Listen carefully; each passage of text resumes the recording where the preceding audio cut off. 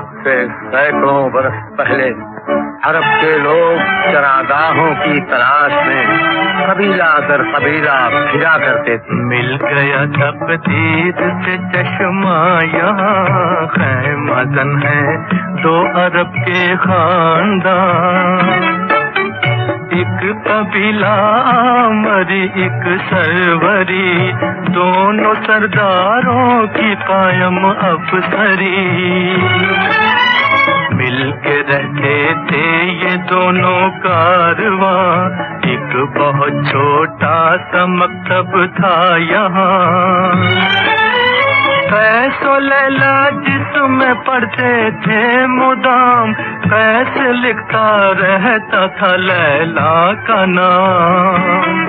लैला का नाम, लैला का